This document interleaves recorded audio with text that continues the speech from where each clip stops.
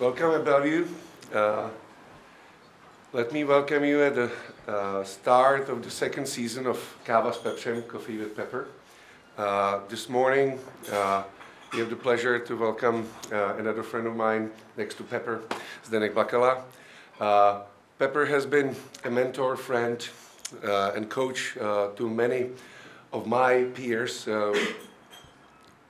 the generation of mentorless, so to speak, after uh, the Velvet Revolution. And uh, I'm glad that uh, by interviewing and bringing here uh, global leaders to talk about the issue of leadership, we're getting a little bit of that orphancy, you know, back and uh, the advice of uh, people who've been successful through their wisdom, patience, hard work is being shared with us. Pepper, the floor is yours. Thank you very much, Honzo. Uh, and welcome, welcome all to uh, the beginning of our, of our second season. It's, uh, it's a great joy to be here and to, to kick this off. Uh, I'd like to first thank uh, our sponsor who uh, has for 20 years been the leading asset management company in the Czech Republic, the investment company of Česká Spořitelna and Martin Burda. Thank you very much, and let's acknowledge him. I also want to uh, acknowledge uh, someone who is uh, on our coaching staff and the uh, director of business development for the Institute, and uh, someone who I think is the human equivalent of perpetual motion, Kristen uh, Laranka Parpel. Kristen? And final introduction uh, from the audience. Uh, I'd like to introduce you to someone who has been uh, an inspiration to me for, for many years. Uh, happens to be the mother of my personal coach uh, and the director of operations for us, my mother in law, who came up from Cairo, Patricia McDonald.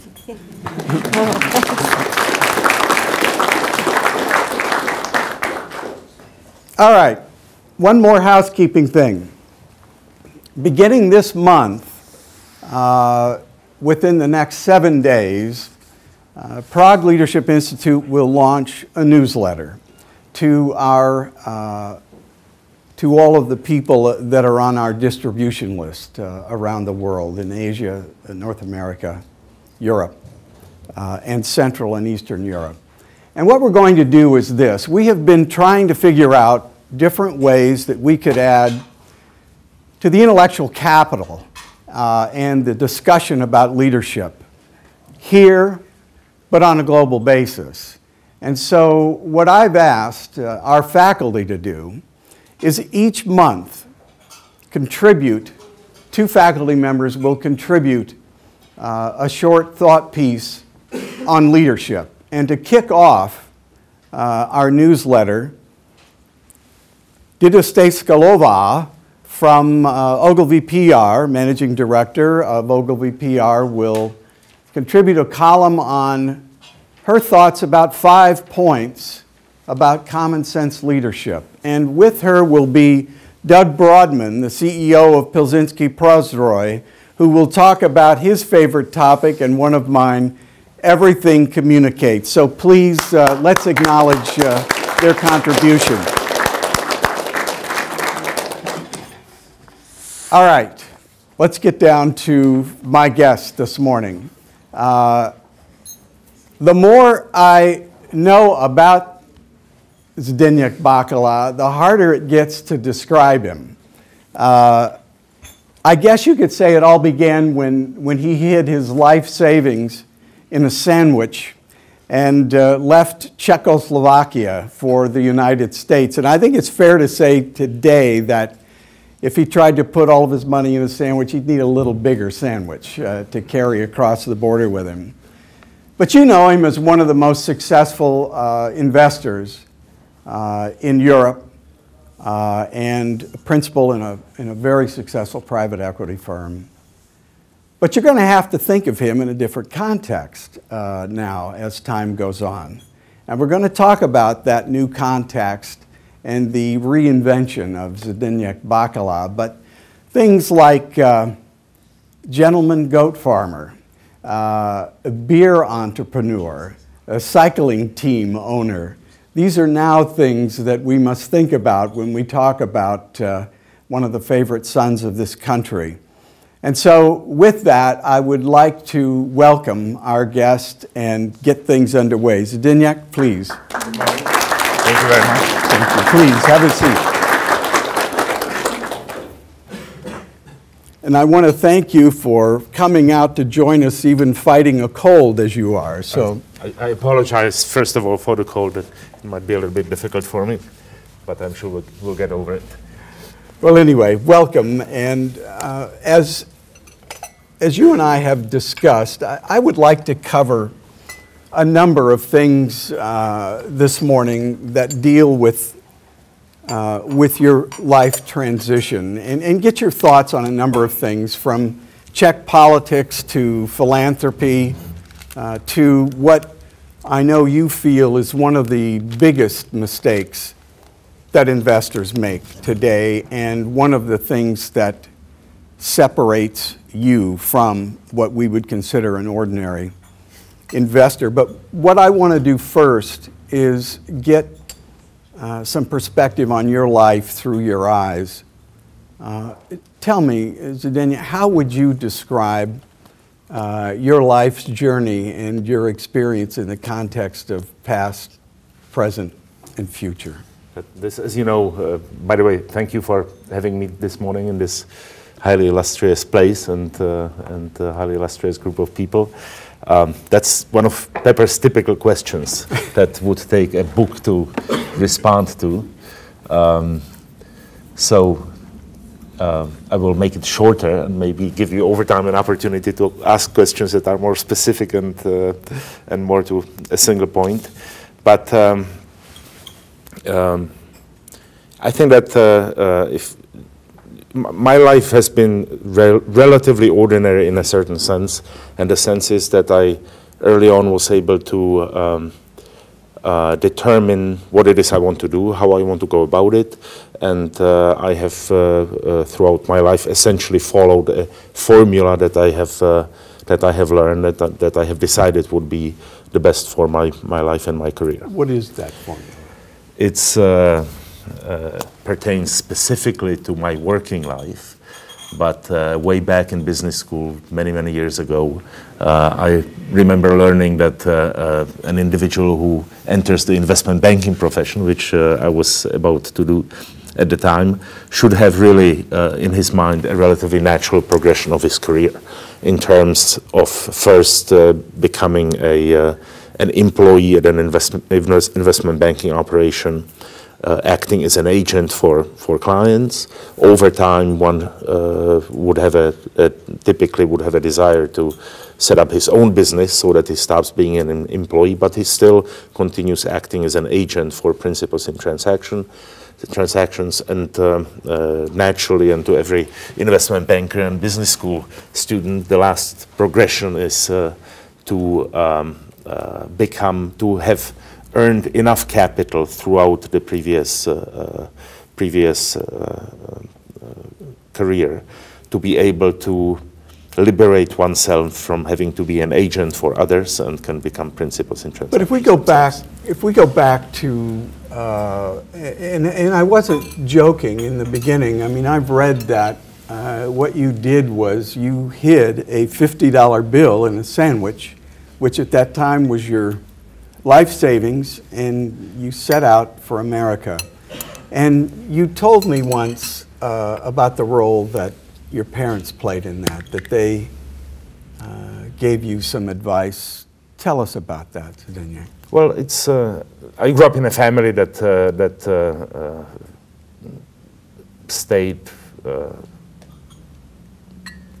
kind of insulated itself from the communist reality in the 50s, 60s, and 70s, and uh, and I was always brought up to um, with the belief that uh, once education is the the the first condition that has to be satisfied in order for one to have a to have a happy life. And uh, when it became clear that it was difficult or next to impossible for me to uh, go and study at a good gymnasium in, in Brno, where I was growing up at the time, uh, I decided it was time to leave the country. And uh, my parents, uh, because they held the same belief that uh, they taught me earlier on, very much supported me and understood that it's better for me to leave the country than to stay. Did you leave with a dream? I mean, other than. Of course. what was that? What was the dream that you left uh, with in your mind? Oh, it's it's probably it's difficult to. It's a long time ago. First of all, very long time ago. Um, I really can't tell you many of the details of it, but uh, but the, the truly the the only the overriding reason uh, I had for leaving the country is to be able to go to a, a high quality school and study. And, and naturally, the, the dream at that time, uh, which turned out to uh, have worked out later on, uh, the dream at the time must have been to uh, be able to get a decent uh, university degree in, in, in, the States. But it wasn't, to, to it, it, certainly wasn't easy for you because when you, you, you, came to America, you had a friend living in uh, Lake Tahoe, yes. didn't you? Yes uh, from, the, uh, from Czechoslovakia. Uh, and you went to stay with, uh, with him and his family initially, is yes. that correct? Yes. And uh, you got a job as a, uh, as a dishwasher in a casino in, in Lake Tahoe, right? Yes. and you and I've talked about, you know, Berkeley was not an easy school to get into. it is one of the, the best institutions uh, in the United States. But why did you pick Berkeley? Why not uh, another school? In California, as you know, uh, you have a choice of two top schools, unless you unless you uh, count UCLA in the top in the top group. But um, anyway, you know the, the, the, the, two pinnacles of education in California is Stanford and UC Berkeley. Uh, it, the, the, the reason is very simple. UC uh, Berkeley at the time had um, uh, a, a, very attractive uh, tuition for in-state students, which I was as resident of the state of California, and uh, therefore it was a no-brainer for me to to uh, apply to Berkeley, which at the time was $1,600 a school year, and that is the greatest bargain in the history of education, as far as I can tell. Uh, significant difference than the tuition to Stanford at that time. Um, a couple of years ago, um, you and I were, were having lunch, and I asked you how you felt your success and your wealth had changed you. And I was struck by your answer because you said, It hasn't changed me at all. And I, I said, Why? and, and you looked at me and said, Because I understand money. Put that in context for us. I would venture to say that I know everything about money there is to be to be uh, learned or known about it. There were times I couldn't afford to take the bus, so I had to walk, and uh, and uh, therefore I understand the value of money as means of of surviving.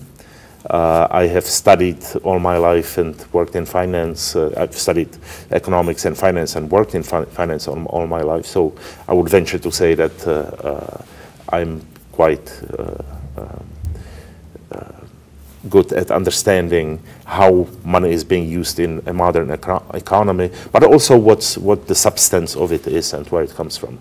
And, um, and because I have had the privilege of uh, being able to live my life with considerable amounts of money at my disposal, but also many years with uh, essentially no money at all. I have learned and added that, when you add that to my experience in finance and, and uh, in banking, I would venture to say that I understand not only the, the positive benefits that money can bring to you, but uh, maybe more than many others, the insidious, the risk of, of, of uh, money as, uh, acting very insidiously to change people's lives, which happens around us every single day. How, how did you learn and I, and I know, I, I, I, understand that, and I know how to defend myself against it. How did you learn that?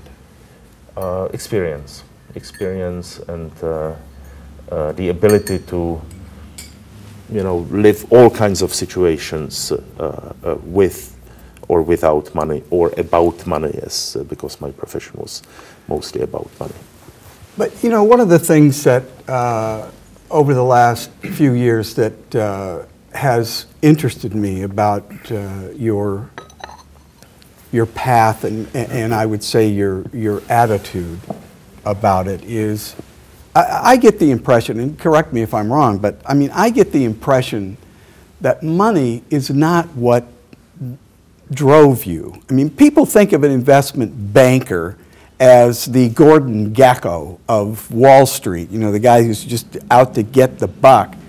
But I, I just have this feeling that uh, there was something more in it for you. Um, as an anecdote, one of the uh, uh, graduation speakers at UC Berkeley in the 80s, and I would guess it was 1985, was uh, um, um, um, a gentleman whose name is Boesky. What was his first name? Ivan. Yes, Ivan Boesky. And uh, he made the Greed is Good speech at UC Berkeley as graduation speech, and Yes. the movie just uh, you know took it over from there. Um, no, I think that uh, success uh, is what drives people, and money simply happens to be the the uh, measurement, the, the unit we use to measure success. I know that you're taking a more passive role in investing today, but I would like to get your views on just the general uh, topic of, of business uh, in, in the Czech Republic. And in general, you know, what, what you feel are the underdeveloped opportunities here with regard to our capabilities, first of all. As an investor, I can go through all the sectors and tell you what I think. I think in, in many, in, maybe one step back, our and BXR's investment philosophy is, um, uh, has evolved in the following manner. We originally uh, had an investment thesis to look for uh, old economy assets in Central and Eastern Europe. Eastern Europe. Uh, uh, essentially, uh, industrial uh, assets, tangible assets that we could then apply our what we think is our skill at uh, restructuring and and turning into viable viable businesses. Uh, we have pursued that strategy for a number of years, and. um we have become, in a way, too large for the market that we have selected for ourselves initially, and we have had to diversify um away from Central and Eastern Europe um, in order to just get some proper uh, level of diversification into our portfolio. Um, so we today spend more time on uh, understanding a healthcare investment opportunity in Singapore than uh, a uh, um, you know a, a manufacturing plant in the Czech Republic. Uh, when it comes to this to Central Europe, our focus clearly today is Poland. Poland has the, the is the, the most promising uh, country today in, in Central Europe. It has still uh, opportunities, even privatization opportunities, because they went about their privatization in, in a much more measured manner than, uh, than Czechoslovakia and then the Czech Republic uh, did. So, uh, as, a, as an investor, to the, and, and uh, the Czech Republic has the, the best opportunities uh, happen to uh, surface during times of transformation, deregulation, privatization. That time in the Czech Republic has, is over. Uh, the Czech Republic, uh, and maybe we'll get into that, should focus on, on uh, other things that are than arguing about the 90s and who did what. And uh, uh, I view Poland as, as the single most attractive uh, opportunity. I think that uh, natural resources in Poland, Poland be it coal, shale gas, or or um, uh, any other commodity. There are a number of mining companies in Poland are very extremely attra- attractive because they serve a landlocked market which is largely inaccessible to the to the uh, seaborne commodities that uh, are exported elsewhere. From an in- investment criteria uh, standpoint, what is it that you are looking for in the future? Because I know you, I mean, you're, you're like a, a mini Emerson Corporation. I mean, they have a ladder company, they have a fan company, they have, I mean, I know you have a, you have a mattress business, you have a, you know, a number of things. What are you looking for as you look around? Today, I truly and genuinely look for uh, to to become involved personally. Look for a level of fun and enjoyment in in the work. Uh, for example, I work uh, very closely with the cycling team that uh, that uh, we have bought, or the winery that we uh, recently acquired in South Africa, and uh, I leave the the, the big boring. Uh, uh, but profitable uh, stuff to the uh, large organization of, uh, of uh, professionals and offices we have created over the, all over the year in the last If that years. were a luxury, one of the luxuries you afford yourself, that's probably it. Being able now to do the things that, that you think are, are fun. And I want to get into that in a moment, but before we leave the, the realm of, of business, um, what, where do you see the Czech Republic in the context of, of the global economy? I mean, what's your view of, of that? I'm almost a federalist when it comes to the European Union. Really? so I, I can easily imagine a world without the Czech Republic, with, uh, uh, which, uh, which I'm sure to many of you will be uh, uh, treasonous. Well, what do you mean by that? opinion. Well, let me first All right. get to your question. Uh, today, frankly speaking, you know, we, we are, and um, um, uh, you can you can open any of Mr. Machacek's uh, analysis, and everybody's spending so much time, including Mr. Machacek, spinning wheels about what exactly is is happening to us today and where the Czech Republic's role uh, is. I think it's relatively simple. Economically speaking, the Czech Republic is a small country on the German border, which determines pre- pretty much everything uh, that we need to know about it. Um, uh, the in terms of uh, of uh, economics, investment, and uh, industrial cycles.